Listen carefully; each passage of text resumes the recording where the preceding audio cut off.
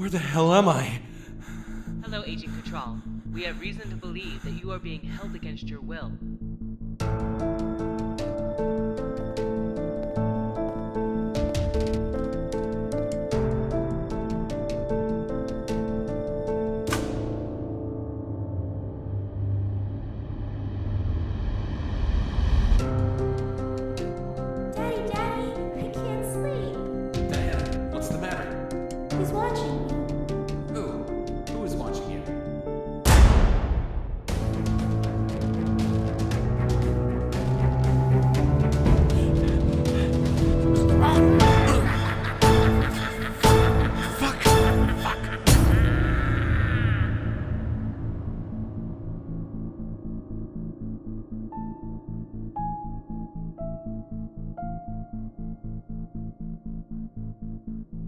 Daddy, Daddy, I can't sleep. Diana, what's the matter? He's watching me. Who? Who is watching you? Fuck! Fuck!